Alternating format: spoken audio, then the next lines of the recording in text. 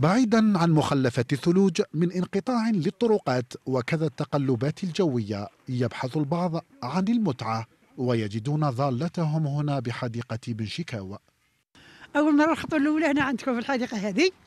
مين الحاجة فيها؟ مين؟ أنا من عند دفله الله يبارك. يبارك في حياتك ويامك لا لا. جو رائع. رائع. أنا ما نقدرش عليك. أول مرة بصح ما شاء الله. إن شاء الله يعني عام الخير وليداتي عام مبارك علينا إن شاء الله. اليوم جينا للحديقة عجبنا الحال نلعبوا بالثلج وكامل أول مرة نجي لهنايا. عجبني الحال إن شاء الله نعاودوا نولوا مرة واحدة أخرى. أي لعبنا لعبنا بالثلج سمعنا رجل الثلج وكامل. هنا الحديقة معمرة ثلوج و- و-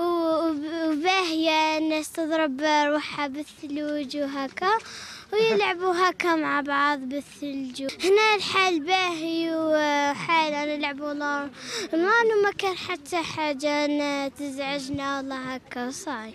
منطقة سياحية بامتياز وقطب هام يستقبل الكثير من الزائرين يحتاج فقط لبعض التأهيل والاهتمام.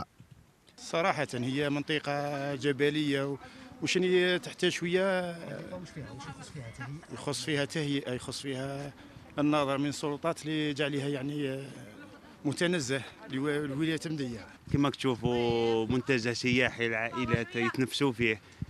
mais كما نقولوا ماهوش حاجة تاع لي مازال مخصوصة. شو الطبيعه انت mais مازال مخصوصة صوالح أمور تاع التهيئة les restos الأمن bon كاين الحمد لله. mais ال- الوالي تاع المدية إلتفاتة وخلاص. هي فرصة للترويح عن النفس خاصة للأطفال.